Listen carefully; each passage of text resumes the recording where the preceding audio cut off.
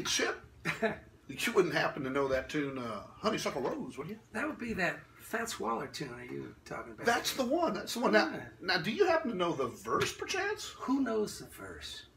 Well, I think the verse. Favorites, why don't you? Well, I have no use for other sweets of any kind since the day you came around. The start, I instantly made up my mind. You're the sweetest sweet that can be found. You're so sweet, can't be beat. Not even if it's too long feet. Here we go.